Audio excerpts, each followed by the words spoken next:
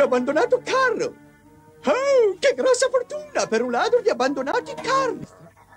Idea fix. Che succede? Io dico il carro! Oh, Asterix, guarda! Oh, questa sì che fortuna.